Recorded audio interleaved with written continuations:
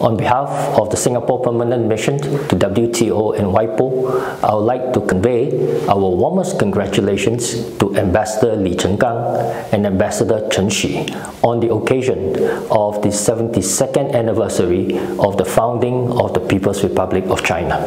We look forward to further strengthening the strong and substantive relations between our two countries and our missions in Geneva. Once again, warmest congratulations on this auspicious occasion.